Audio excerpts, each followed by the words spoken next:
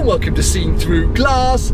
Welcome to Morocco. I've just driven my Ferrari 360 two and a half thousand kilometers to get here. Why? Why not? I bought this car seven years ago, financed by the legends at Magnitude Finance, and I vowed on the day that I collected it that I would use this Ferrari in a way that I think all Ferraris should be used, for adventures. And last year was this car's 20th birthday and we did a lot of adventures. But it's not going to stop there. Moving forward, I want to use this car for the big journeys, taking it to places that I think all us petrolheads dream of taking our cars. And that starts in this video because I'm taking this car to the Sahara Desert. Let's go.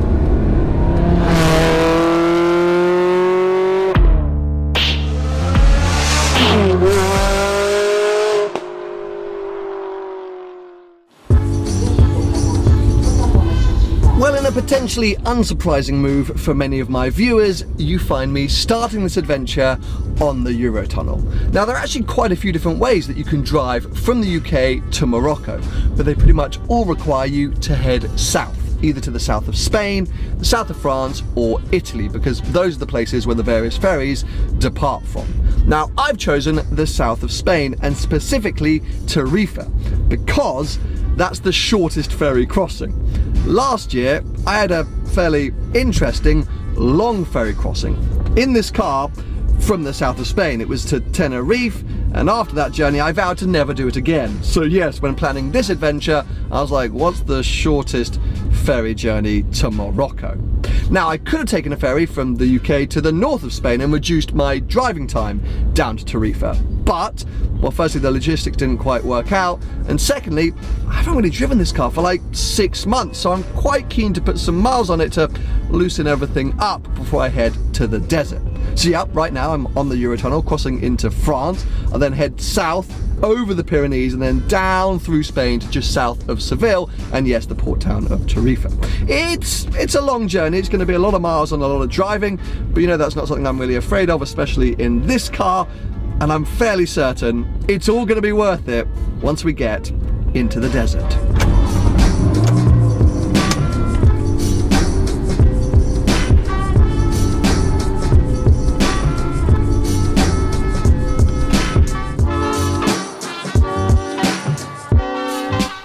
I'm happy to report it's been a very positive start to this trip. I've already got a thousand kilometers under my belt. I'm halfway to Morocco. I've made my way all the way through France to the Pyrenees, the mountain range that separates France and Spain. I'm now arriving at my fairly unique overnight accommodation. This place looks insane.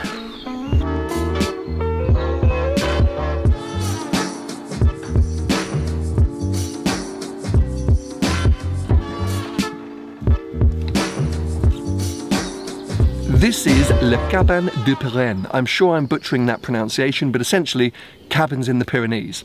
It's a treehouse. I'm staying in a treehouse tonight.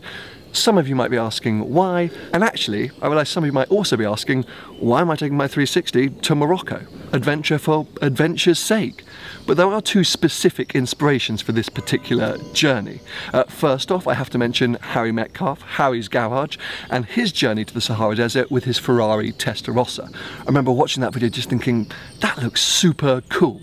But more so than that, about a year ago, I went to Morocco and the Sahara Desert with Nissan to test drive a kind of one-off rally-inspired Juke that they'd created. It was an amazing adventure and sadly not many of you managed to see the video, but during my time in Morocco I thought this would be a really cool place to bring a cool car, like my 360 and with my aim to now use my Ferrari for the big, wild, crazy adventures there didn't seem much wilder or crazier than, yeah, driving it onto the African continent for the first time and to the desert. Anyway, I'm gonna settle in to my treehouse, explore it a little bit more, try not to get scared by the wildlife, then get some shut-eye before we continue south down to the bottom of Spain towards our ferry to Morocco tomorrow.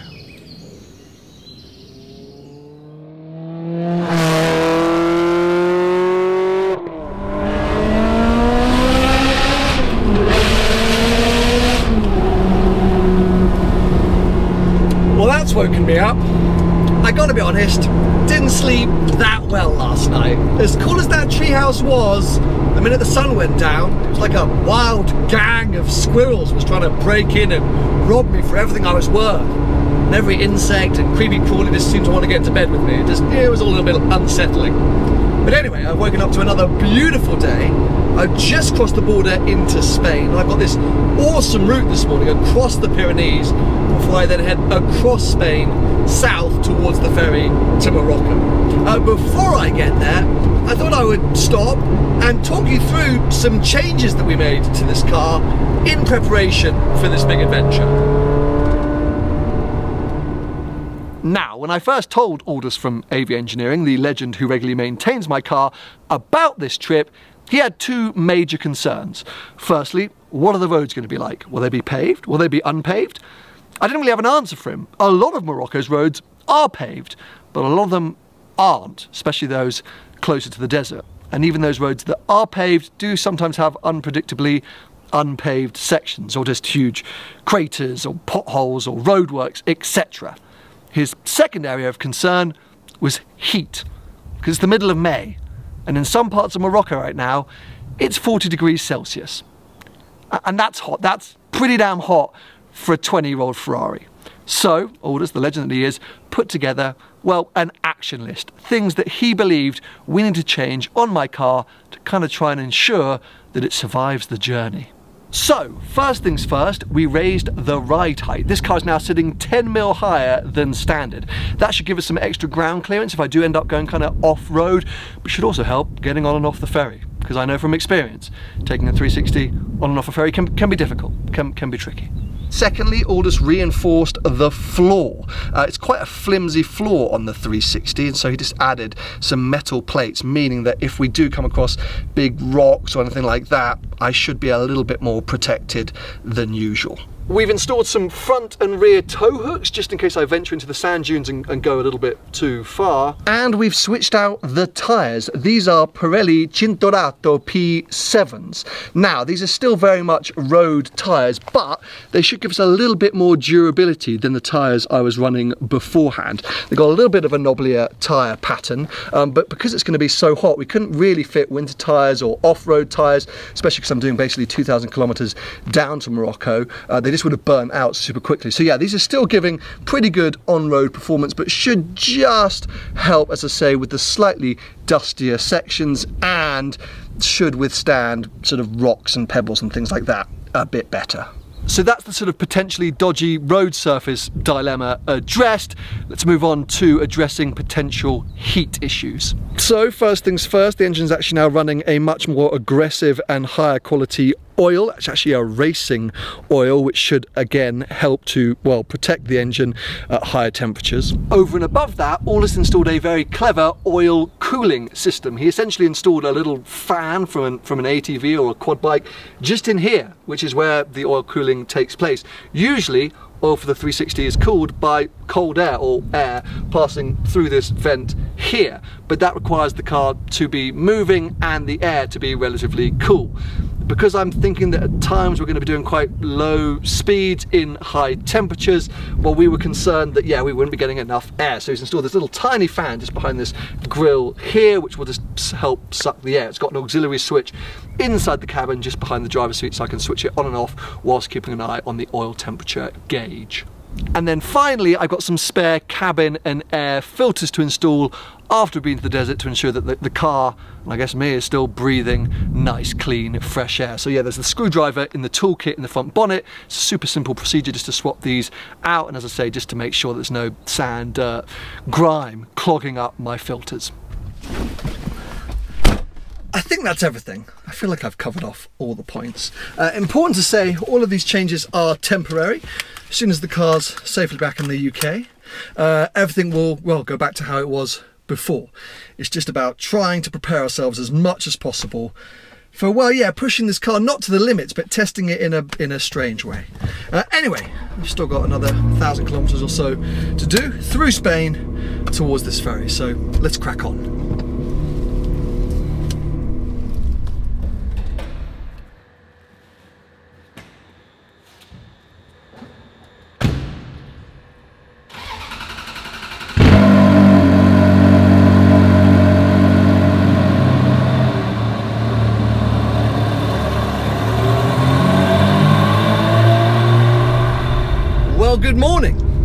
This is it. I'm heading to the ferry to cross into Morocco and onto the African continent in my Ferrari.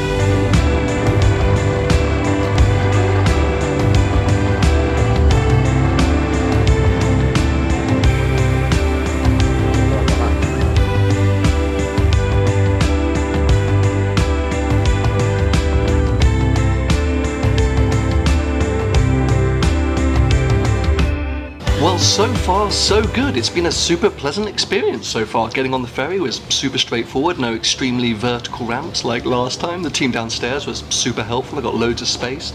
Did you notice there was DBS also getting on board? So clearly I'm not the only nice car heading to Morocco. Uh, I've actually met the owner, he's a guy called Mo, super nice. Apparently got quite a few cars and he's basically helping me through this experience. But yeah, the ferry's awesome, it's got great coffee, loads of snacks. I've met like three or four really nice people already, everyone's very chatty. So yeah, all of my fears about ferry crossings in the 360 is kind of dissipating.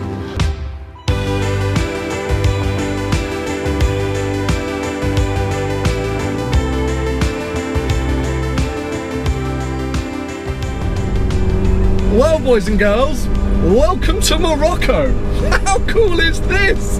Um, I wasn't able to film getting off the ferry and going through customs for, for various reasons, mainly security reasons. Uh, the officers there weren't too happy with me uh, throwing cameras in their faces. Uh, but to update you, for those of you that might be interested in repeating or doing this journey yourselves, uh, the ferry was actually delayed in the end by about 45 minutes, but was, was super straightforward. It's really quick ferry, which meant that the ride is quite rough few people getting a little bit seasick. Um, what's super useful is that the passport control is actually on the boat. Uh, so that kind of removes one potential hazard when you land. Uh, and then customs was super easy. Uh, all the officers were actually really nice and really friendly and loved the car. I handed them my V5, my vehicle logbook from the UK and my passport. Five minutes later they did a little quick search and then yeah, on my way. And here I am, released into Morocco and into Tangier. I'm going to be passing through this place. I have heard very good things. But yeah, I'm heading to Fez. Fez is my first stop on this adventure. Now the only thing which I've been given, or I've been told, not only by people in advance of this trip, but also upon arrival, is drive slowly. They are super hot on speeding here, and they aren't very amused by it, which no one should be. So uh, yeah, just take it easy. You're probably going to attract quite a lot of attention in a red Ferrari. So yeah, now the adventure has truly begun.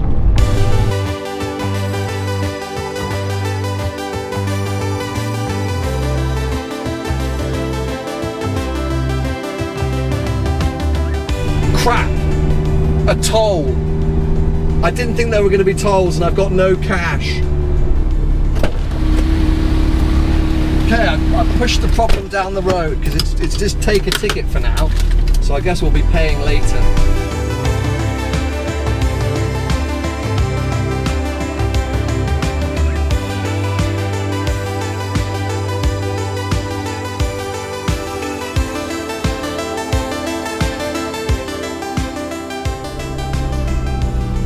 I'm off the motorway, I couldn't tell you where I am. I'm not in Fez, this is just a town that I'm passing through. Um, the toll booth did not accept credit cards, but luckily there was a man there, very helpful man, he was very willing to take my euros off me. Um, I did say how, how many euros, and he seemed to pluck a figure out of the air, but it was only five euros, so I was more than happy to give it to him. Um, but I think that maybe he did rather better out of that situation than me. Um, but yeah, look at oh, there's some very nice looking bread. that bread looks amazing. Do I stop for the bread? Oh, we still got a long way to go. I shouldn't get too distracted. For me, though, this is the best part about exploring by car, especially somewhere new or different. You don't see any of this if you're flying. And as I say, like I, I couldn't tell you whether this is like a top tourist destination or not, but it seems cool. And I say that that bread looked amazing. And here we go. Here's a horse and cart. Not sure what he's doing, but this is this is Morocco. I'm exploring. It's absolute ace. Still got three hours to the hotel, so uh, yeah, keep my head down. Plenty more to see. I'm I'm actually very happy we're off the motorway.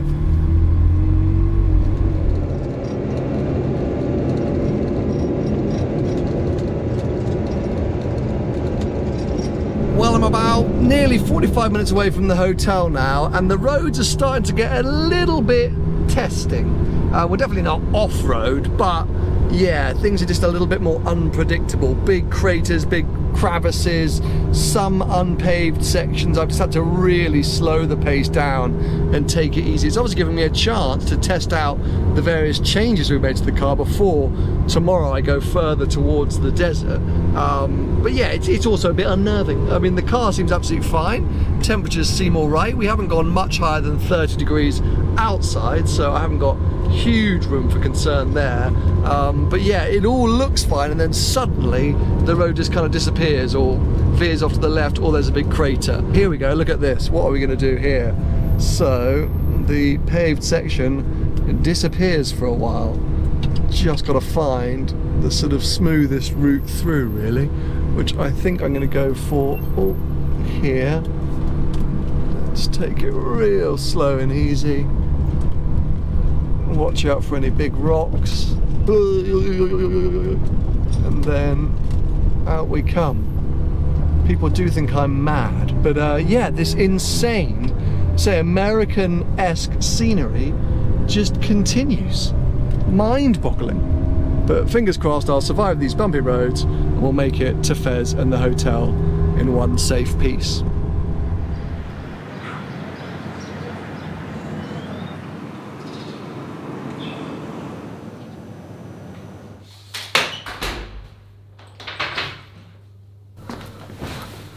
Well, I've made it to Fez. I've survived day one in Morocco with my 360.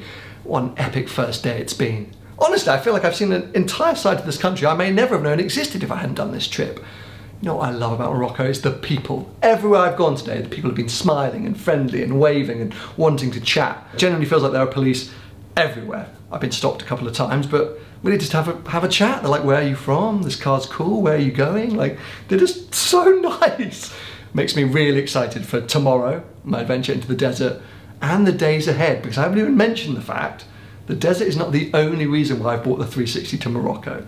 More on that soon.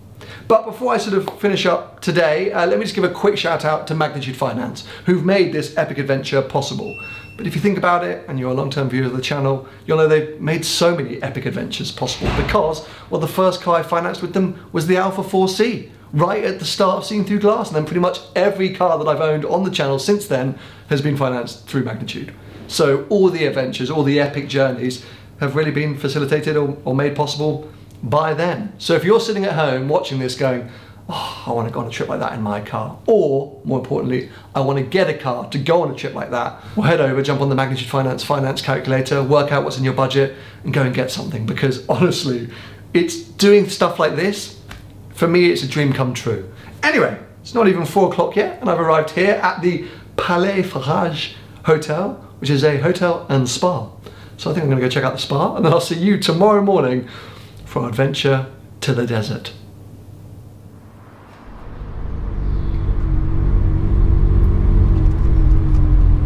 Well, good morning. Welcome to the big day. Uh, by the way, I had a great stay in that hotel last night, Palais Faraj in Fez. Super nice, really nice actually. Um, but I've left there now. I've just filled up with fuel, which was a little bit expensive actually.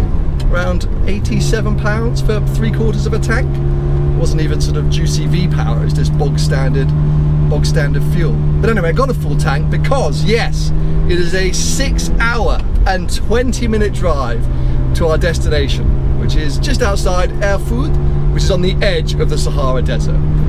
Now, I think today's route is going to see us on fairly big roads, not like the twisty stuff we were doing yesterday, at least that's what I think. So really, my only sort of anxiety is around the heat.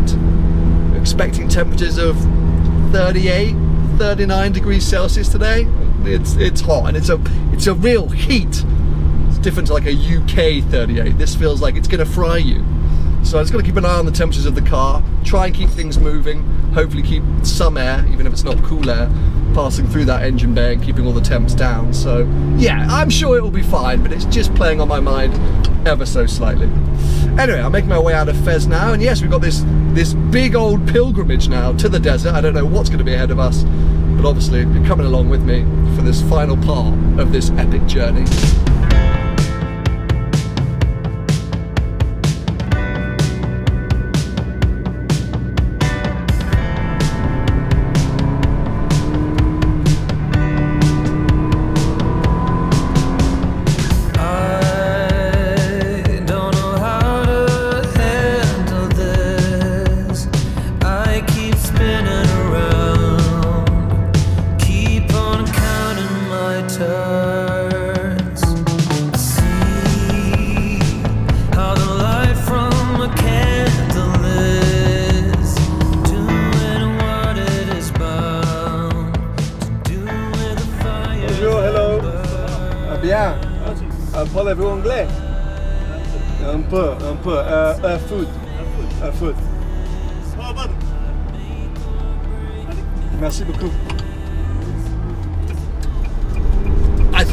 Bit lucky there.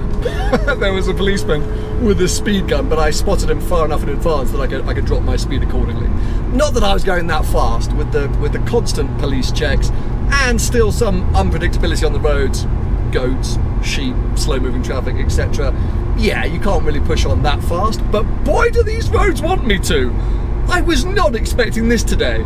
I wish I knew exactly where I was. All I can tell you that this is the N4. It's like a proper mountain pass. I'm absolutely blown away. And the scenery, I mean, yesterday was dramatic. Today's dramatic for a whole nother reason. The views are insane. I guess this could be part of the Atlas Mountains, but I kind of assumed they were a bit more central. We're very far east today. You've got these big gorges and these open plains, lots of hills and crests, and I say proper mountains. And the road is just fantastic.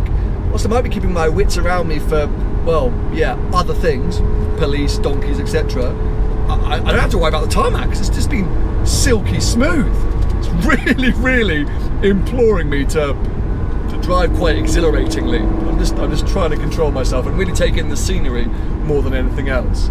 And the temperatures haven't been that bad because we're pretty high, kind of still in the well the early mid 20s, so it's all pretty bearable. I'm absolutely loving life. I was excited about today, but not because I knew we were going to be doing this. Now I'm just like I don't want to get to the desert. I want to keep having fun up here.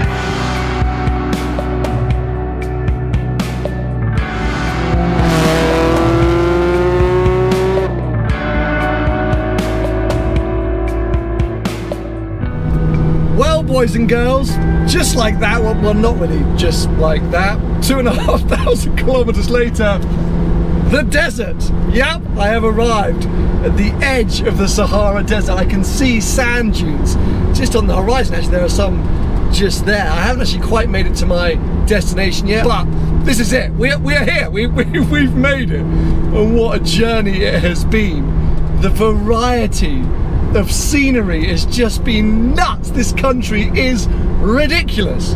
But all I really want to do now is, is get over to that sand. So I've got to find myself a pathway that, yeah, leads me into the dunes. This could be a disaster. I'm so nearly at my hotel. I may never make it there, but it'll be worth it for the Instagram content.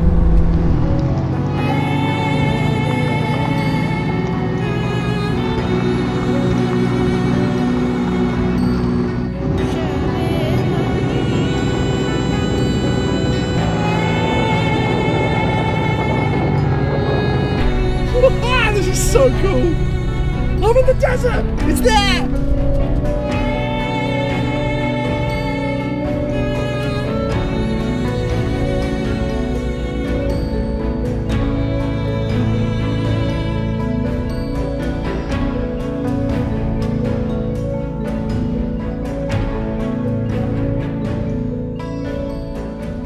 This is literally the scene that I dreamed of. This whole trip has worked out so much better than I could ever have hoped. I could stare at that sight, well, until the sun goes down, which is soon-ish. I kind of wish I had a cold beer, just to be able to drink this all in. What a moment. I, it might seem weird to you all, but seeing my car in this setting is just so cool in my mind. Kind of wish it was a little bit higher and had proper off-road tyres and I could just launch over those sand dunes across the Sahara Desert and through Africa. Maybe that's a future adventure. But yeah, huge thanks to Magnitude Finance for making this all possible. Got to give a shout out as well to AV Engineering for preparing this car. Turns out a lot of the preparations weren't actually needed. Didn't get that hot today. I think the hottest I saw was like 35 or 36. Okay, the increased ride heights definitely helped. The tyres potentially, but haven't needed the tow eyes yet. um, And I don't know, it just, it just feels like I could, I could have got here with the car in fairly standard setup. And that's a testament to this 360, which just continues to just eat up every single challenge I throw at it. If you ever needed a reminder once again to go and get a modern classic and a modern classic Ferrari and use it, there you go. It's at the Sahara Desert in Morocco on the continent of Africa. And it drove here from London a few days ago. Absolutely brilliant. Now, I mentioned it a, a, short while ago, I've really fallen in love with this place over the last few days, and that's a good thing because the adventure does not end here.